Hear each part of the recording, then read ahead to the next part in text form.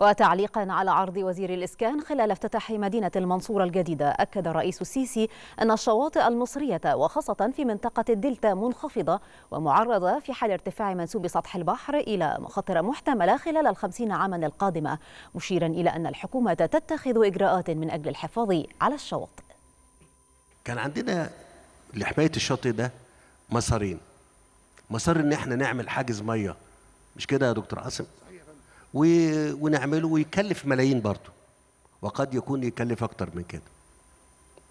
أو إن إحنا نعمل حاجة تحقق إن أنا أحقق مجموعة من الأهداف بإجراء واحد. مش كده؟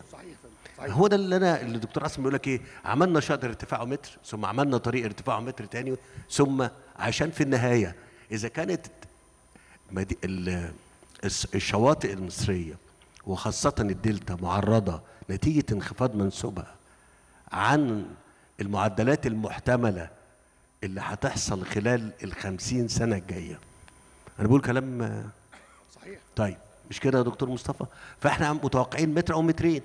طب إحنا كان عندنا نقدر نعمل على امتداد مثلا 200 300 كيلو حواجز تكلفنا عشرات ويمكن مئات المليارات من الجنيهات أو الدولارات عشان نحمي شواطئنا اللي هم ورا منها الناس بتوعنا اللي موجودين في الدلتا.